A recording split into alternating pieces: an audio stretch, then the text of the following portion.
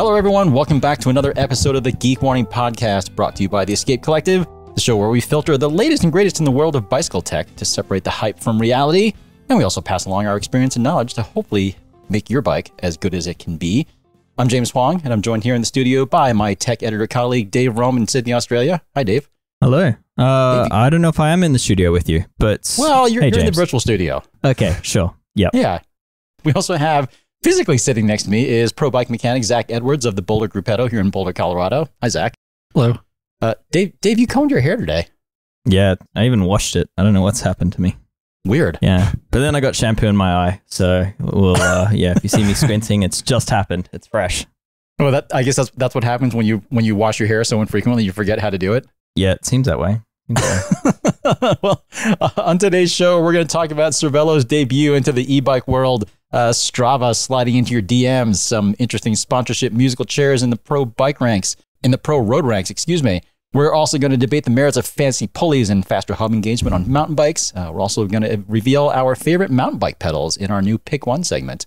Dave, we already went over your hair, and I know I usually ask you about tools Mm. seeing as how you're our resident hyper geek in that subject. But you've got your own newsletter on Escape Collective that's called called Threaded. And for anyone who hasn't yet read the latest edition, or worse yet, hasn't signed up to receive it, uh, what are they missing this week? Uh, well, this week nothing, but what they have just missed, uh, which went live last week, was uh, a, a bit of a deep dive on cheap torque wrenches. So yeah, I had torque wrenches from one from Amazon, an Amazon Basics torque wrench, one from AliExpress, and one from everyone's favorite place of jack stand recalls, Harbor Freight. And yeah, I just compared them and uh, sort of yeah gave some opinion on whether any of them are worth owning. So I'd say that's worth checking out. For the too long didn't read version, were any of them any good? The AliExpress one was actually pretty decent. Surprisingly, the Harbor Freight one was accurate. It just was so bulbous and big that you couldn't actually fit it in a lot of places where you need a torque wrench on a modern bicycle. But yeah, it actually wouldn't make your bike combust, which is quite good. well, I, I feel partially vindicated. Um, Zach, cross season is finally over here in Colorado. Does that mean you can finally take a few days off? It's not over. They got nationals this next week. Well, I mean, I'm just thinking the kids are going here. to Belgium. Okay, fine. It's not quite over. When when are you going to be able to take some time off? Because every time I come in here, you've got a wall of bicycles, regardless of the weather. Yes, always busy. Is that just your life now? That's my life. It, it's almost like it. It's almost like you're giving hope to uh to to quality independent bike mechanics everywhere. Yeah, maybe. Uh, anyway, as much as I want to enjoy this freakishly warm weather we've got going on here in Colorado right now, uh, I feel like my brain's already in winter mode. So I actually haven't been feeling a burning need to ride. Real winter can come anytime now. I'm actually kind of ready to ski. I went skiing the other day. It was quite nice. Huh. It was like a foot of fresh snow. Okay. Anyway, I'll be let's waiting dive- a while for that. You're going to be waiting quite a while for sure. Yeah. Let's go ahead and dive into the news. First up, this was maybe an inevitability, uh, but Cervelo's gotten into the e-bike game with a new model called the Rouvida. Uh, I actually haven't looked up what that means yet, but there are two road and two gravel models built around the same carbon fiber frame. It's got adjustable geometry for what they would consider to be appropriate handling in road or gravel mode. Comes equipped with a Fazua Ride 60 mid-drive motor. It looks actually kind of pretty okay, I think. Uh, I just got one in for test a few days ago and built it up. Haven't ridden it yet, but it doesn't look less bulky in person than it does in, than it does in pictures. Yeah, I mean, it's clearly meant for more sporting intentions, I'd say. Uh, the one that I have uh, is built up built up for gravel. Came with SRAM Force AXS and reserve carbon wheels. It's actually pretty light. It's like 13.4 kilos without pedals. It's about 29 and a half pounds. It's pretty good for uh, a medium e gravel bike. Prices start at about $6,200 US with Shimano GRX 600 up to 13000 with SRAM Red AXS. So yeah, this is no surprise that Cervelo has an e-bike because that seems like pretty much a requirement these days. Uh, but Dave, I'm kind of curious to get your take on this, given that you just bought for yourself an e-mountain bike recently. So does this does something like this even appeal to you at all? Uh, not for me in Australia uh, because we have a 25 kilometer per hour speed regulation, which uh, and these bikes, in theory, you can deregulate them, but there's there's a lot of reasons why you shouldn't. Namely, if you hit someone and they end up testing the bike, you are uninsured at that point. But that's my issue for it. Is 25 kilometers per hour isn't fast enough for it. Uh, for me, for the, a road group, I mean, you're, you're basically then working against the weight of the bike and the motor anytime you're in rolling terrain in, in any sort of cycling groups. Yeah, it, it helps on the climbs, but not really anywhere else. And I, I think it's a hindrance everywhere else. So that's the limitation. If in Australia we had uh, different regulations that allowed closer to what uh, you have in the US, even 32 kilometers per hour, then that's a completely different story. And at that point, I'd be far more excited about the style of bike. Uh, Zach, do you see many e gravel bikes coming through here at all? Not really. Only on occasion, but for the most part, no. Not really your market, I guess. Really. No, I would. I mean, there's like I would say some like slightly older people that have have them, which totally makes sense. But yeah, otherwise, I don't see too many. My dad's now this customer. He's he's got an e-road bike, an Argon 18, and like he absolutely loves it. But yeah, I do know that that 25 kilometer per hour limitation still still hinders him on lo- rolling terrain. And yeah, so I mean, even in that demographic, it's it's still the laws are preventing this category from really taking off internationally. Um, you don't have those limitations in the US, so I, I could see this becoming quite a, a popular purchase item amongst an aging road population. And yeah, I guess just to clarify, in the U.S., uh, we do have motor assistance certified up to 45 kilometers per hour, which is 28 miles an hour. quick. Uh, yeah, very quick. Uh, and then even in the, I think EU and well, EU and UK, I can't remember. There there might be some some specifics for uh, either one of those, but they're pretty close to each other. And those are about 32 kilometers an hour or about 20 miles an hour. Both of those Mhm. are much more reasonable speed limits, I think, for something like this. I, I don't know I don't know about that 32 kilometer per hour thing. I think that there's different classes in in Europe now, and they, they do have like the speed elec uh, category, which requires a license and a, a number plate, which is closer to the speed you're allowed in the US. But yeah, I think the there's still a lot of it, regions are still on that 25 kilometer limit, which is fine for some e-bike styles, but not for a, a road racing styled bike. What I would say is uh, I'm not at all surprised to see Cervelo put its name to this. Uh, no doubt it was a, request from its its parent company of, of Pon. And I think that its parent company would be a reason why this bike on its first iteration is probably extremely good. Is that uh, that Fazua motor uh, Focus were actually probably the first in the road market to do a Fazua equipped road bike, carbon road bike at least.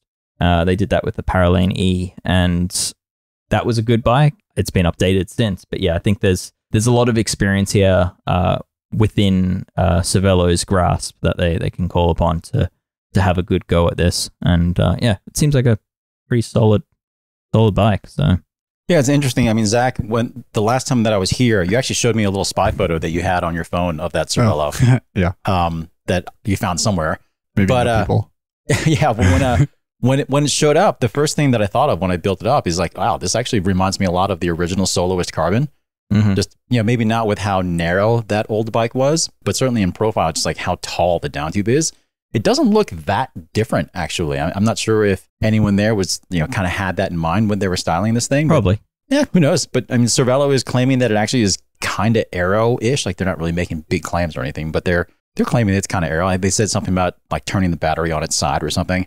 But aside from kind of just like a little bit of the crudeness of how that mid-drive motor unit looks, and I guess specifically the the chainring spider, it actually looks quite nice. Like the display is really well integrated into the top tube. All the like the little buttons are hidden and stuff. And um, I mean, we all know my feelings on fully hidden cabling, but for a bike like this, I think it actually makes sense. It does hide all the extra Hmm. wires and everything. I mean, like so many of these other tidy. bikes look really clunky with like like that they Yeah, like designed a bike and then the e-bike part was an afterthought and there's all these wires that are like zip tied along the brake hoses and stuff and you're like cool i just spent 12 grand on this bike and it looks like trash yeah, and, yeah, and then and then like in some of those situations, like you said, there's like a separate display unit uh, clamped onto the handlebar, and like all these Mhm. wires everywhere, and extra all these extra buttons and stuff, and it looks very very tidy. And like I said, it, it's quite light, all things considered.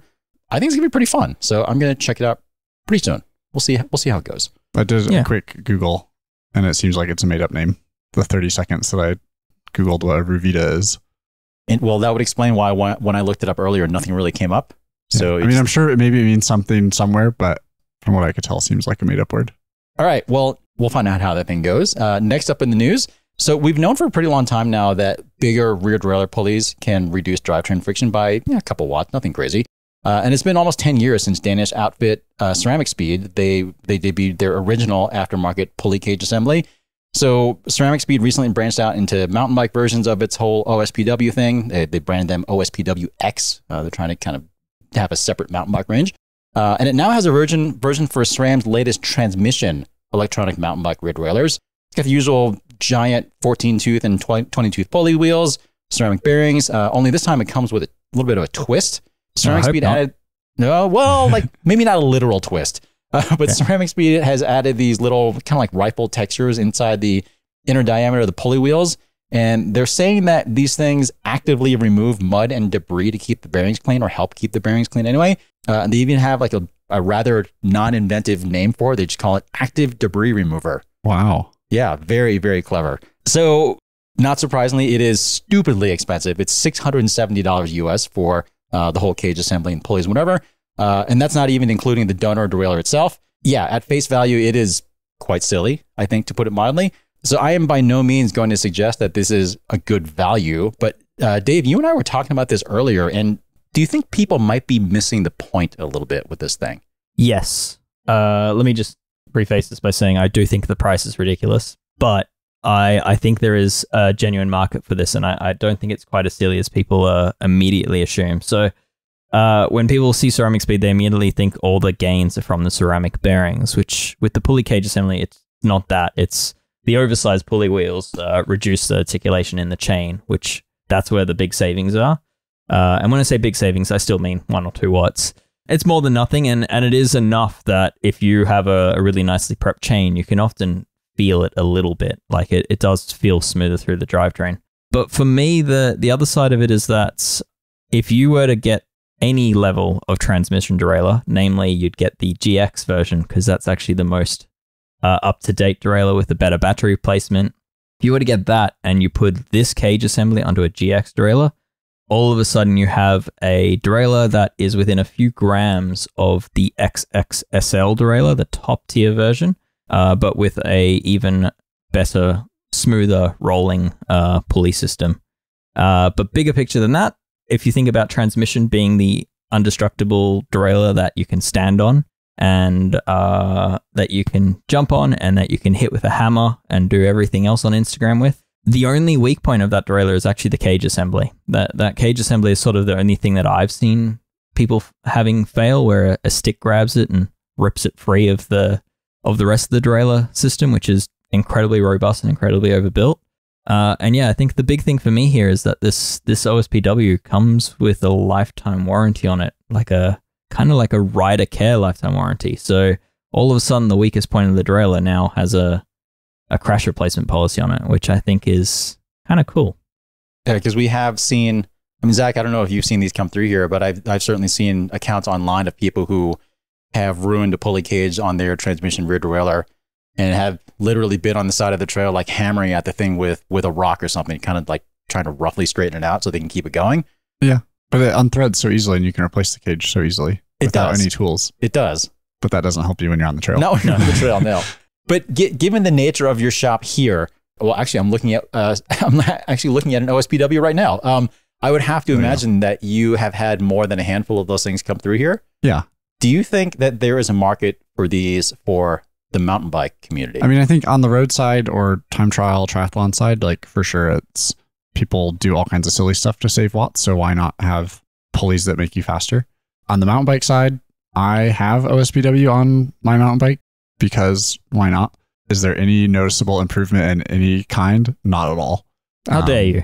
I know. Uh, right? but like, would I go out of my way to buy one to add it to my mountain bike just because? Probably not. But Mm. like, if you see it as this like val- this like performance increase thing, then yeah, it's that's silly. But I mean, it looks cool. This one is more striking. So like, you either like the way it looks or it looks terrible. But I think at the end of the day, like the oversized pulleys and ceramic speed in general is like a very high quality, well made product. Like both the bearings last forever, stuff's all CNC machined really well. It's just a high quality product, and you pay for that because it's a small company. It's not just like coming out of some factory where they're pumping out millions of them. Yeah, I mean, yeah, and th- that lifetime warranty, I, I can't undersell that enough. I, I feel like that almost justifies the price. The watt savings, I think, are potentially bigger off road because uh, the more friction in your chain, the more dirt in your chain, the the greater benefit you'll get from those bigger pulley wheels because there's there's less articulation. So But the Um, I would say know- with transmission though, like the new SRAM, like the pulleys are already bigger than what they used they to are be. big, yeah. So it's not as big of a difference going to. It's not, but yeah. So I, I feel like the the claim for efficiency gains off road is potentially more likely to be true, if that makes sense. I mean, you should, before you ever do an OSPW, you should be running a wax chain and doing everything else you can. Be, like the OSPW is kind of last on the list of the, the expense to improve your drivetrain. I do feel Well, like it's the- off road, It's it the one kind thing makes that you can see. So people do it first. That's why, yeah. Yeah. Ooh, um, ooh, I'd good say the downside to it though is that uh, bigger pulley wheels mean it's a bigger cage to hit against stuff. So, uh, James, any thoughts on that? Like, how much bigger does it look like? Look, you've you've had one of these in your hands. Uh, you know, I haven't installed it yet though, so it's interesting because one of the things I asked Ceramic Speed before uh, before the thing even showed up was if they also required uh, that you run a longer chain. But they said they actually designed the thing that, such that it will run perfectly with the exact same chain length, which I find interesting. So I'm not sure if the axle to axle dimension of the of the pulleys themselves might be shorter than Hmm. uh, than the regular cage. I need to check on that because I mean, that makes sense though. Like, because transmission, it's so particular with chain length. Then you have to Yeah. look at the chart and t- see what. Yeah, Like that would be a, a real barrier to purchase if they'd changed so, the like, chain length. speed would have had to come Totally. up with their own, Yeah. like calculator to tell you how long your chain should be. Yeah, so I'm I'm glad that they engineered it that way. Um, So, so two things I want to discuss with this. It's just one. My understanding is that this reuses the clutch mechanism off the old cage. I see that as the biggest issue with this is that that clutch mechanism is a wear item. Uh, SRAM do not offer that piece as a service item except for buying a whole cage assembly from SRAM. Um, so in theory, you could buy like a GX cage assembly and take the clutch mechanism off of it to to put on your ceramic derailleur, but uh, ceramic speed equipped derailleur. But yeah, that's that's one issue is that I think that those clutch mechanisms under he- heavy use will probably wear out over a couple of years of use. Um, yeah, I mean the only other thing that I wanted to discuss is Zach brought up uh, before we started recording that the Ceramic Speed X logo looks a lot like uh, Elon Musk's newly acquired company, uh, and I, I guess like to discuss that, uh, like the story I heard is that Ceramic Speed wanted to call it Ceramic Speed Twitter, um, and that name was already taken, so they went with Ceramic Speed X, and then and then all of a sudden Elon's just followed them. how many OSPW cage assemblies can you buy for forty four billion dollars? I think quite a few. Three, four. Are we 3D printed or no? Oh, good question. Good question. So I wonder, like, would, would it have been a better deal for him to buy Twitter for 44 billion or Ceramic Speed for 44 billion? Ooh. I mean, either way, he's going to ruin the investment. So let's move on. All right. Well, uh, as I mentioned, I haven't yet gotten this on my bike, but I'm going to do that pretty soon. So we'll find out how this thing works. Well, hopefully in the next couple days or weeks, depending on how the weather holds up. We'll see. All right. Last bit of news uh, for our first segment here is uh, we're going to talk about Fulcrum's new Red Zone Carbon Plus mountain bike wheels. Uh, on the surface, they're not insane. They're you know less than 1,400 grams for a set of two niners, which is the only way they come. Rims are 28 mils wide. They have this kind of nifty wavy pattern to them that Fulcrum says uh, allows for like perfectly even spoke tensions, left, right, so on and so forth. Given that it's Fulcrum, they uh, the rim's got a solid outer wall, so there's no rim tape required for to run tubeless, which is great. And you also get the the company's, I would say, pretty highly proven USB hybrid ceramic bearing setup. Uh, they're adjustable. It's kind of nice. Proven. Anyway, um, Yeah, yeah. So aside from these being priced at the more kind of premium end of the spectrum, the only major downside, in my opinion, that I can see is the pretty so-so 10 degree hub engagement. But I'm kind of wondering, like for cross country riding, does anyone really care? I mean, I think yes, you don't want slow engaging hubs, but like that's the same as what most DT is, a 36 tooth, which is I would say pretty sufficient for most riding. For most cross country riding, anyway, that Yeah. most people are doing. Yeah, I would say with these wheels in particular, not to change the subject, but they're very expensive. Do they have a rim like crash replacement? Oh, you know, that is a good question. Because for a 1300 gramish mountain bike wheel, I would not want to buy them if they did not have some sort of replacement policy. I forgot to look into this, but the last time I had this discussion with Campagnolo, uh, which is the same parent company as as Fulcrum, their response at the time was that they didn't have sort of like a you know no fault crash replacement sort of thing. It was more like a it was kind of more like a case by case, we'll take care of you sort of thing. Gotcha. It was So rather nothing vague. official, but Nothing official. It sounded vaguely reassuring, but not like super concrete. So that is kind of TBD. But that's clearly not really something that they're not not a performance aspect that they're really pushing with these. yeah. Um, which, on the one hand, maybe says something to you know to the fact that they're like I guess maybe they're pretty confident in them, but at the same time, it also makes it feel like They're like five years behind the times. Yeah, I've, as someone Yeah. who's broken a fair number of XC wheels, Hmm. I would be hesitant to purchase these. Yeah, I mean, I, I feel like the customer pays for that warranty in some way or another. Right. Um, you know, it's it's typically built into the price, or the, or the company ends up having to add weight to its rims to reduce the number of warranty claims it's getting, which I believe has happened in the road space from a certain brand starting with a Z. But uh, it's um, yeah, I think Yes, yes. I think yeah, both Fulcrum and, and Shimano are, are losing probably a lot of sales through that that lack of warranty. Um, and I think it's mainly just a perception thing. For me, it is a barrier when you're talking about what is it, twenty five hundred dollar US set of wheels.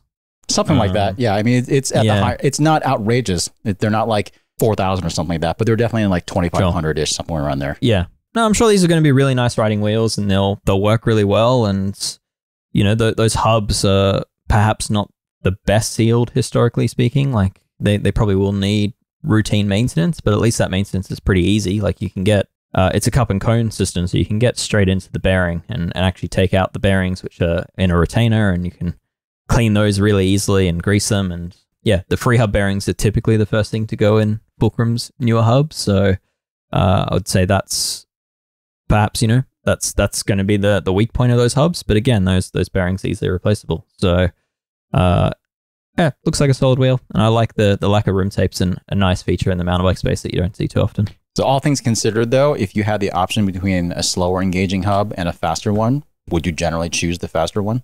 I think I would, yeah. I think faster degree, but I don't think that like I don't know. I feel like so many companies use like fast engagement as a marketing thing, like i9 or Chris King or like Yeah.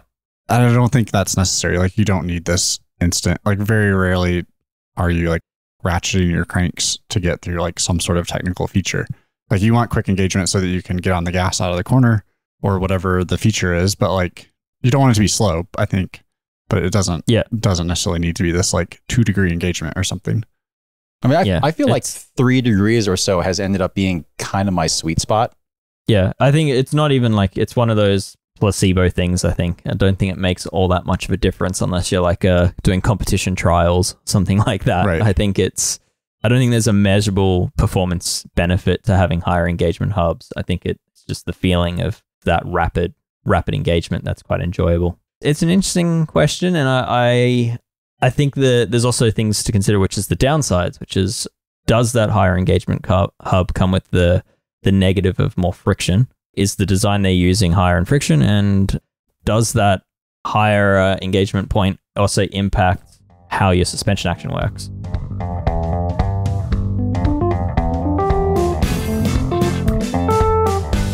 All right, well, let's move away from mountain bike stuff just for a moment here. So, one thing that was, well, I guess this can be our on your mind and over the heads of our families segment here, because one thing that I have been wondering about is as we continue to get more press releases about different new gravel bikes, and you know, there certainly has been no shortage of new gravel bikes coming out still. But one thing I have noticed is that there seem to be fewer gravel bikes that seem to like for a while we were seeing bikes that really kind of like pushed the envelope, really had some innovative thinking and like really offered something new and creative for quite a while. And now it seems like things have really plateaued in the tech front with gravel. So I'm kind of wondering, It's- like, have we hit peak gravel?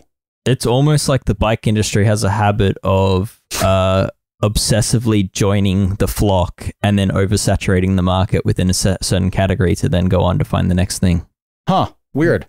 Never heard of that before. Yeah. So like one at one point, uh, I'd instructed my wife at at, at parties because she really isn't a cyclist and, and always felt like whenever we got onto bike talk, she felt completely out of place. So this is about ten years ago. I had given her the idea of just to a conversation starter, which was fat bikes are the new fixie. Uh, and it just kicked off with bike nerds. It was it was it was a, a party hit. So uh, I'm not saying gravel bikes are a fad. I do actually think the category's here to stay. But uh, yeah, I think we have seen the oversaturation already, and I think it'll hopefully just slow down a little bit and settle down.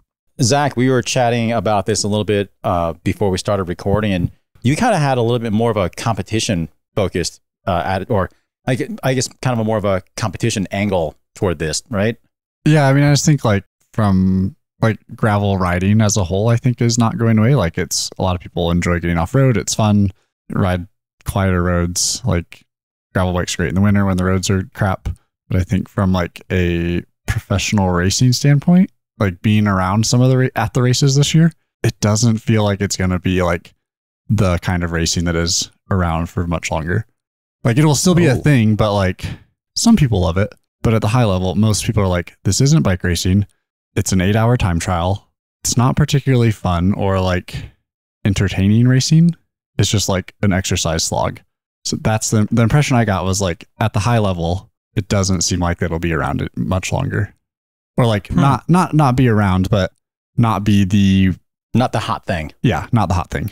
Um, I think the other, this might be getting overly skeptical, but if you look at how hot the gravel category was, and that the componentry that we're riding in gravel hasn't actually progressed too much past like mountain bike tech from 10 years ago. Uh, like, you know, Well, the no, rims that we're running. And uh, I feel like, I don't know, it's like the latest and greatest group sets that have all just been released are kind of recycling of ideas. It's not like there's a huge amount of tech innovation happening that would show you that there's there's years and years still to come of, of growth in, in a tech space. It kind of it does feel like it's plateaued. Yeah, to your point, Dave, the thing that struck me was that, you know, as much as we were seeing a whole bunch of pretty exciting gravel bikes and bikes now are legitimately pretty remarkably capable, but I think the reality is there's only so much room in between road slash all road bikes and cross country mountain bikes from a, Mhm. from a tech perspective.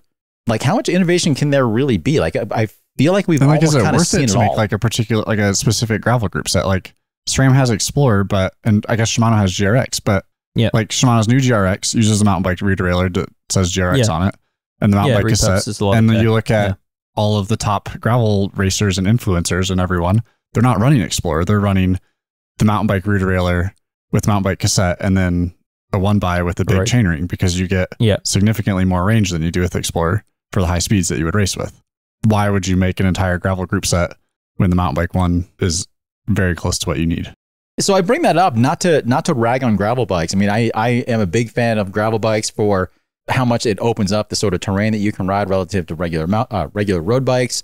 The advancement in technology in the last five eight years or so has been pretty remarkable, but it does really feel like we have plateaued. So yeah, and and if you look at the next big technology front was going to be suspension for gravel, right? That was kind of the the exciting space that we had all the But nobody big wants that. players. Exactly. Like Niner have just announced that they've discontinued their Magic Carpet They gravel were bike. still making that. I'm surprised too. The, yeah, the, the Uh, MCR has been in production virtually unchanged since we completely ravished it Panned it. Yeah. at the old place. Yeah, in one of our Yeah. reviews. Yeah, and like I rode, say, the BMC URS LT, which is the one with the little Cannondale esque head shock in the front of it. Didn't like that uh, either. Uh, I mean, yeah, it, it's kind of it kind of feels like the suspension thing may not happen. It it kind of feels like a few brands have tried it and perhaps haven't done a good enough job of it to make a real case for it that it'll truly take off from here. Fox and RockShox have fine products, but again, it it makes for a bike that is often heavier than an equivalent hardtail uh, and that's a tough sell. So, yeah, it does feel like it's plateaued, and it feels like it, in theory, and I'm going to sound very grumpy here, but it plateaued in the same way that road bikes are plateaued. Yeah, that's what I was, like, so kind many of things you need to thinking. do there. Is like this is similar to what happened. I feel like in road bikes, like the last five years or something. Like they all kind of started to look like a tarmac, right? Mhm. It's like like right now I've got an ENVE MOG here, the new Canyon, whatever it's called, the Grail, not the one with the airplane handlebars, but like the new one. And then I've got like a checkpoint here, and they all kind of look the same, like Yeah. and have the same features. Yeah, right? I It's like they have similar tire clearance. They've got mounts. They've got internal In-frame frame storage. storage. They've got hidden cables. I don't know. They, they need to, right? Like they all need to be derivatives of each other because that's that's those are the features that sell right now. Right. And there's not really any requirement to to be different than that. So, Well, uh, to- yeah, to be clear, I don't necessarily see this as a bad thing. Um, so I, Yeah. I don't want I don't want to give the impression that I want to see new tech just for the sake of new tech. But getting to like a sustainably healthy level, I feel like with this category and with all categories, I feel like which is perfectly fine because I've definitely 750D. yeah, but I mean, It's I've, coming. I've definitely had the had the opinion for a long time that road bikes have been seemingly nearly perfect for quite a while now. Yeah. And if we are already at a point right now where gravel bikes are at a similar similar level of, of maturity, that's actually kind of awesome. As you said earlier, Dave, it also means that there are probably some companies out there who went a little too gung ho with how much they were investing into gravel and how much they were banking on that sort of growth and the explosion in popularity and stuff. Things are kind of leveling off already. That's good in some ways, maybe not so good in other ways, but it kind of just depends on how forward thinking some brands were, I guess. My understanding is that participation in gravel is still growing. Uh, I I think it's just uh, it can't boom forever, and I think the boom of it is definitely over. Right. Correct. There's only so many people that want to ride 200 miles across Kansas. Well, Yeah. and even even even not even uh, or even ignoring that kind of more extreme level of the sport, like yeah, I mean there are still a bunch of people who are probably transitioning from I would say road to gravel, maybe not as much from mountain bike to gravel. It doesn't doesn't seem to be quite as many people doing that. You know, if if that's where the majority of people riding gravel bikes are coming from, then like at some point you run out of people who are interested in switching over, right? Right. Yeah. Because the bike Yeah. industry is notoriously bad at creating new cyclists in general.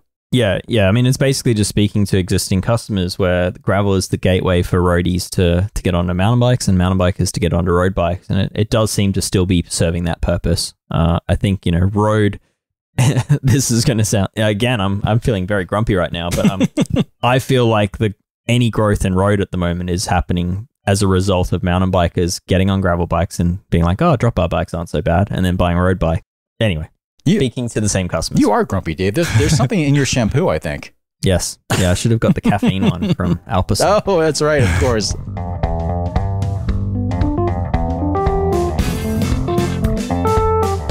All right, well, let's uh, shift back to mountain bikes just a little bit here because I think it's time for our pick one category. Uh, for people who haven't caught the show over the last couple episodes, it's basically where we pick a particular product category and then just sort of reveal our favorites. Unless either of you have a category in mind right now, I'm just going to go ahead and say what I picked was uh, I'm curious what everyone runs for mountain bike pedals. There's a strong chance that we're all the same. Okay. Can we, can we yeah. count to three and say it out loud?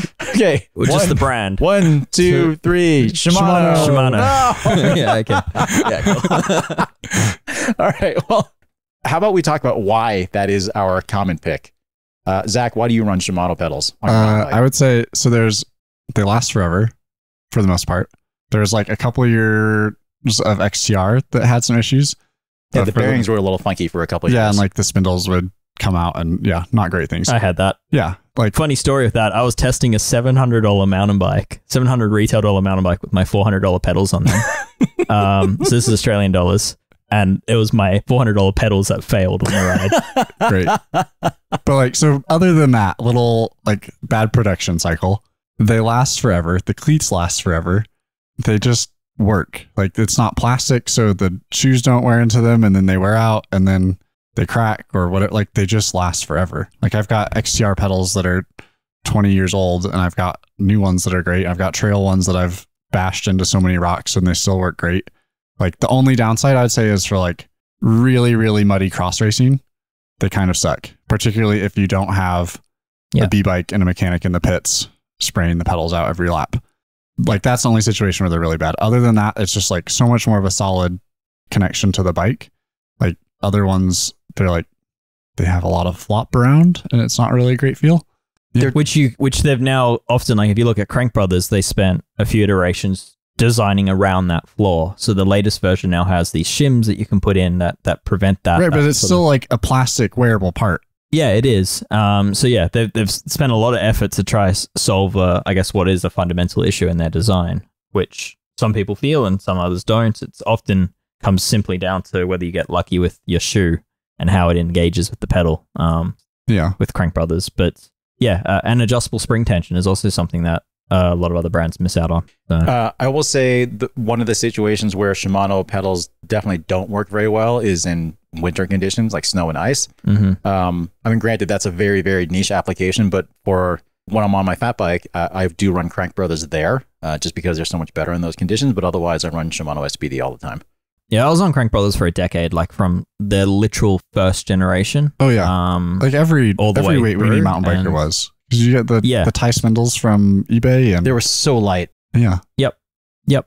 And and yeah, I mean, I grooved out my my fair share of Ti spindles for the pedals. Uh, and and yeah, like I, it was when I stopped. Uh, at one point, I worked for the distributor in Australia, and, and when I stopped working for them, uh, I, I started doing bike testing, and and it was, you know, you'd go do group tests, and everyone else would be on Shimano pedals. Uh, to save you having to swap around pedals, you I ended up running the same pedal system as them, and actually never looked back after that. Uh, for me, it was just yeah, not having to rebuild my pedals every three months was was quite nice, and yeah, being able to smack the, the pedal on the bottom of a rock and not be ejected from the pedal was also quite nice. Yeah, these days, I mean, I, I have a lot of Shimano pedals, so it would be a very big expense to move to another system. but I would say XT is probably the one I'd recommend to everyone. I have XTRs and No, what are are the, the other ones like the M540s or whatever? The yeah, silver, M540 is the really good. silver well. ones that still have the Yep. the, the like cartridge spindle. the yeah the good spindle, not with the plastic Yep. cap. Yep. those are the yeah, best. so yeah, if you it's it's worth spending more on getting the M540 versus M520 in that sense. But uh yeah, the XTs for me are sort of like a slightly fancier, slightly more open design of the M540 and I think those are where the, the value's at because the XTR does have like a Teflon coating on it and it, it engages more smoothly and is a little bit lighter, but they still have that um the seal still pops out on them for me. I, Yeah. I don't know if you experienced that, Zach. oh yeah, definitely. The biggest thing I like about XTR is the lower stack. lower height. stack height. Yeah. Yeah. And that Yeah. and that's kind of a big deal for us around here just because we have so many rocks. Uh, like it just gives you the tiny, tiny bit more clearance. Uh, around here, I'll take every little bit I can get. Oh, look at that. Dave's got a shiny new XTR pedal that he just flashed on. Seems on like everything here. we talk about I always just like have at reach. Weird. Anyway, Uh, well, I would say. name something. I'll see if I've got it. Yeah. well, I will say that uh, that was not the most exciting of pick one segments that we've had since that was basically just like a Shimano SPD love I should say I used to really like Yeah. times, Yeah. but you like the shoes, the sole of the shoe would wear into the plastic body, and then hmm you'd have to replace the whole pedal before like the actual mechanical bits are worn out. And do I am I remembering correctly that time pedals, uh, the spindles are still not user serviceable? I don't think that they are, or even if you could get in there, you can't get any parts. That's a huge bummer Yeah, because Shimano's are still so easy. yeah, Hmm. and you can get Yep. new spindles and bearings and stuff. and you can like get upgrades if you wanted to to to go that route, even if you wanted to. All right, well, More diverse. Pick one for next time. yeah, I'm gonna have to pick something much more personal, like Like opinionated. saddles, grips. You know, what's your favorite? I don't know. Chamois cream. I don't know. We'll have to get more creative. We'll, brainstorm. We'll hopefully come up with something a little bit more exciting for Maybe you next week. do like tires or something. That's favorite mountain bike tire. oh, That tires would be, a very, good one. Very opinionated, but it's also so mm. where Everyone's gonna be live. like, me and DHF. Done. All right. Anyway, moving on. That'll do it for pick one this week.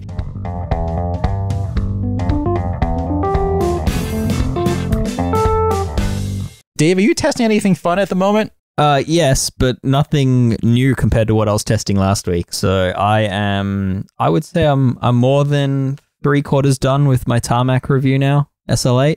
Uh, there's a bit of pressure on that bike because uh, it's it's very good, and I don't want to come across like I'm uh, I'm given in to their white paper. Dave, I'm a little terrified at how long this review could be, given how long you've been working at it. So hopefully you haven't been actually writing this whole time because it's going to be like No. 14,000 words or something. Yeah, I, I'd like to think it's going to be shorter than Ronan's uh, Super Six review. very long. It's Uh, very but- highly detailed, though. But what's helping me is that I've already written the build report article, which came out when the bike re- was released, and I'm kind of just now writing the expansion pack to that. So that's helping me. Okay. Okay. Well, uh, funny thing is, one of the, I, I guess the bike that is kind of most interesting on my list right now that it, that just came in a little while ago is at the complete opposite end of that pricing spectrum. I just brought in a, a Trek Marlin 7. Sweet. uh, which retails for the whopping total of nine ninety nine US dollars. Uh, and I actually tried to get the Marlin Eight, uh, which is a little bit nicer, a little bit more expensive. It was like thirteen hundred dollars or so. But I've been wanting to bring in kind of a, a inexpensive aluminum hardtail for quite a while, just to kind of see where that part of the market is at these days, because it's been a few years since I've really looked at these bikes. And on the one hand, they don't, they haven't really changed that much. I mean, this one has a pretty basic RockShox Judy fork, coil sprung, steel stanchions, wire bead tires, stuff like that. You know, square square taper spindle on the crankset. It's quite heavy. Square taper. Square taper. Oh, Well, that's why I wanted to get the Marlin 8, but they didn't have any. So I settled for the 7. Anyway, It's fairly well equipped, all things considered. Getting like Shimano, I think it's a Deore uh, one by uh, drivetrain. Uh, one by with square taper. That's one by with square taper. Indeed, Wild times. Your your your mind is blown here. But yeah, it's quite it's quite heavy. Doesn't come with a dropper at all. It has routing for a dropper at least. What really drew me to that bike was that the geometry is actually quite modern. Um, Mhm. Trek did a really nice job on that. What surprises me is how consistent that category has been for spec to price point. For a long I mean, they time. have gone up in price. Uh, they have gone up in price as has everything, but that spec, other than ignore the, I say ignore it, but these are the two most important factors. But ignore the 29er wheels and the geometry, which arguably don't add cost to the bike. At least the geometry changes don't. But uh, ignoring that, that spec sounds incredibly similar to what that bike would have been 15 years ago. Yeah, really not all that different. I Like mean, Does as it- far as features go, does it like have you did have through hydraulic disc brakes on entry level mountain bikes. through axles. You had square taper. oh, that's the big downside of this bike. That is the big one because this one is actually quick release. Ooh, front. Front. Yeah, there and you go. rear. It's the same bike from 15 years ago. It's With- just with new updated geometry, and bigger wheels, Uh, Yeah. Although it, and and and no front derailleur. Can you which can is you good. please take this to OHV and just I don't just destroy it? I'm gonna I'm gonna take it somewhere for sure. I've already converted the wheels to tubeless because that was an obvious necessity for testing around here. Uh, I with with YB tires? You able to do that? uh, yeah, it's sealed up just fine actually. Okay. Um, so I'm not sure if Trek actually officially approves those tires for use tubeless. Yeah. But uh, if I remember correctly, when I was making the swap, the bead did look like it was tubeless compatible and sealed up just fine. So uh, I got a very satisfying pop uh, when I was seating everything. So you might get a much a much more satisfying bang at some point. hopefully not. We'll we'll see. I'm gonna I'll bring spare tubes, uh, and maybe a mouth guard, but uh, but um, I am going to find out how this thing does. Uh, I'm going to put a dropper post in it first because that for me is definitely a requirement. But uh, yeah, aside from the key, aside from the quick release thing, front and rear, I'm I'm I'm optimistic of what this thing could be, given that it has good Yeah. geometry. Because for me, I feel like the geometry is almost the most important thing of anything. 100%. Yeah. Um, so no disagreement there. yeah, curious to see what happens there. So stay tuned. It's very pretty too. It's a nice little shade of baby blue. All right. Well, uh, last couple tidbits of news. So you're all up to speed here. Dave, what is going on with the latest with Wiggle? Uh, they have announced that they. Uh, it seems. I mean, it's bad news for them, and it, it doesn't sound like they're necessarily finding a buyer to take over. But they're they're basically restructuring and becoming a UK only business. The Wiggle and uh, the Wiggle that we once knew as being what was claimed to be the world's largest international online bike shop is is no more. Uh, yeah, they've basically shutting down e-commerce internationally and and will refocus on the UK for now. I mean, that is a Feels big. that's an absolutely shocking turn of events. Did we have any word on what's going to happen with Chain Reaction? Uh, I have not seen confirmation on that. I unfortunately, I'm, I'm going to make a an assumption which I hope is correct here, which I believe they have shared logistics with Wiggle uh, in terms of warehousing and that and the, and the like. So, uh, my belief is that Chain Reaction Cycles would be a similar story, It, but it, seems like it would have uh, to be. to be confirmed. Uh, I mean, I'm personally a little bit confused still as to why the two of them exist separately at all. Yeah, I mean, it was it was kind of a branding. Chain Reaction Cycles is kind of the mountain bike arm, and then Wiggle was more the multi-sport, you know, triathlon, road, running. Um, so yeah, I think they did have slightly different branding strategies. Uh, it has gone on like that for many many years, which I'd say it lasted. That that split brand lasted longer than I had expected. My goodness. Well, uh, unfortunately, the bad news keeps coming there, but hopefully they can at least find some stability, I guess, uh, and hopefully they can stop the bloodletting as far as uh, as far as redundancies and go uh, and and, Hmm. and related go over there. So I will continue to keep an eye on this one, see what happens. Uh, on more positive news, uh, the Made Handmade Bike Show has announced its dates for the 2024 event. It's going to be August 23rd to the uh, to the 25th. Still at the same venue on the waterfront in Portland, Oregon. Uh, so, Dave, you and I both went to the inaugural event last year, and I think we can both agree it was pretty This year. awesome. Sorry, sorry, yes, earlier this year. Excuse me. Um, And I think we can both agree it was pretty awesome. Uh, It was. highly recommended that people attend this one. I, I certainly hope to attend again this year. Dave, I hope you can join me again. Yeah, I certainly hope so. And I would say if you're anyone that has a love for bikes and has a fascination of the the Hatton built scene, then it's it's absolutely worth a worth a trip to get there. Zach, is this something that you would ever want to go to? Yeah, I mean, I've been to NAHBS a few times, and it was always super cool. So I'd imagine this is similar. I hope they get a big fan in that venue this year. It was warm. They had some fans. Uh, I think they hired fans uh, on day two After we left, of, of this year. yeah, yeah. It it was pretty hot in there for the first day or two, but uh, cool venue. It was cool. Maybe not literally cool, but pretty cool. No, All right, Strava. Uh, everyone's heard of Strava. I'm sure they just added a messaging function to their app. Uh, so if maybe you have, if you've got some questions about a ride or route that someone posted, you can now ask that person about it directly, assuming they haven't turned that function off. Uh, so kind of neat. I mean, this isn't the first time that Strava has dabbled with the idea of kind of incorporating more social media sort of features, but this. I don't know. Might be worth a, a, a chat with Strava at some point to see where they're going with this. See if they are kind of pivoting yet again. But I don't know. The addition of a of a direct message function actually seems like it might be a good idea. yeah, I think it's a good idea. I think how they've implemented it might be problematic because uh, my understanding of it is is that the default is that anyone that follows you can message you. Um, so I mean, that would make be- sense.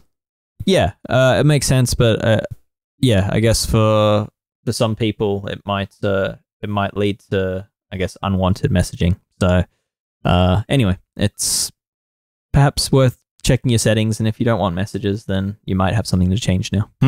Well, uh, on the pro road front, uh, the AG2R Pro Road Team, they just announced the move from BMC to Van Rysel bikes from French outdoor mega retailer Decathlon.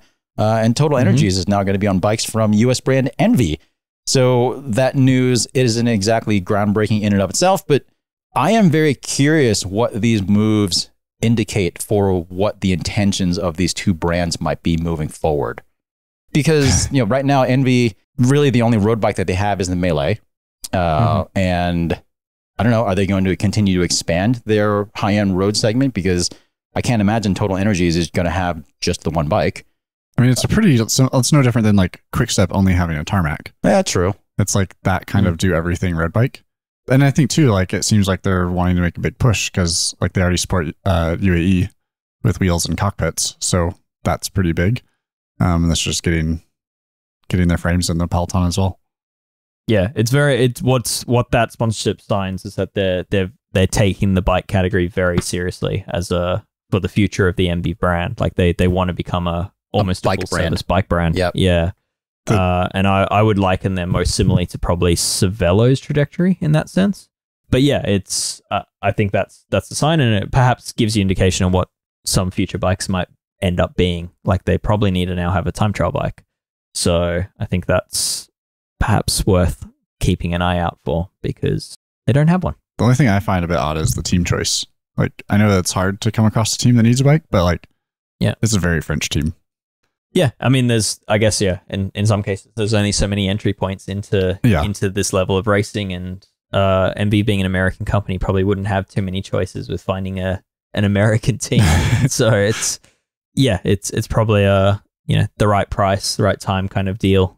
As for Van Rysel, I mean, that's that's a again, that's just another sign of yeah, big budgets having you know wanting to grow the presence of of that of that brand and wanting to yeah, grow the prestige of that brand. And I think it'll probably work out exactly how Decathlon needs it to work out. I would have to imagine that sponsorship came with a rather large check from Decathlon too.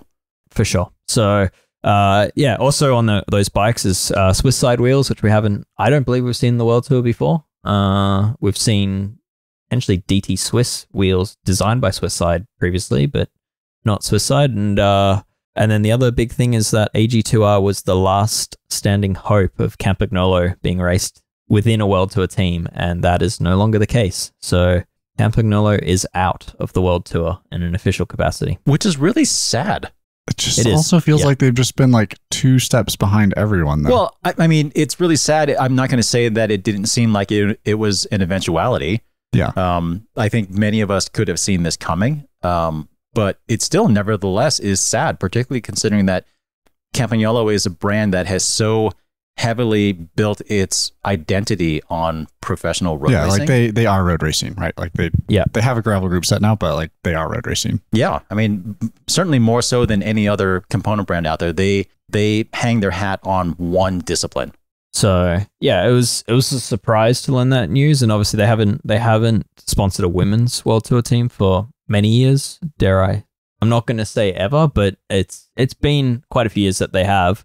Uh, and No, they definitely used yeah, to. I think There's they definitely used to, but it's been at least two years since with without them doing it. Uh, they're just down to pro team level basically. Um, and I'm not entirely sure who they'll be linked with in that capacity, but what I'd heard for the reasoning is that they wanted to to be with teams where product development feedback could be more easily attained, um, and that can be quite difficult from a world tour level. But yeah, speaking of group sets in the world tour, uh, rumors, all the rumors are pointing to uh, Bora Hansgrohe, where Roglic's just ended up on, um, that they're going to be riding SRAM next year. So SRAM's adding a a fourth team to its men's world tour roster, and I think there's six teams in the women's. Uh, SRAM have not confirmed that, but they they have teased that there will be an announcement in January.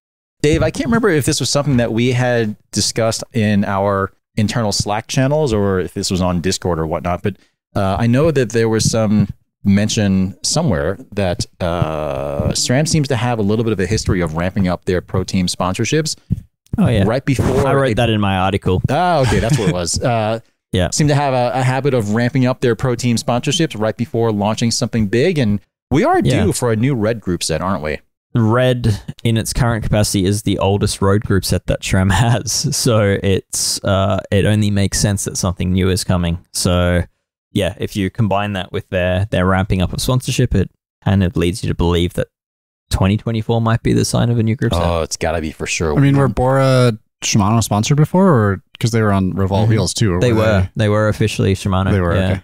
So yeah, Shimano still keeps a handful of uh, officially sponsored teams, but as per usual, they also have a, a lot of teams riding their stuff that they don't have to pay for. So you know, often supplied by the bike brand. So yeah, Shimano's pretty fortunate in that regard. Whereas it does seem like SRAM and Campagnolo need to pay for their presence. 2024 is definitely going to be interesting. We'll, we'll see what happens there, but I would bet that SRAM's going to have a new group set next year.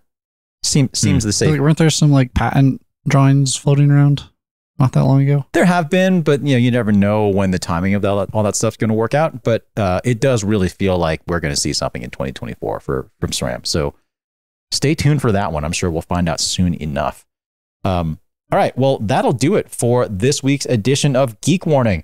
Just as a reminder, this show, as well as everything else we do here at Escape Collective, is currently funded entirely by our members.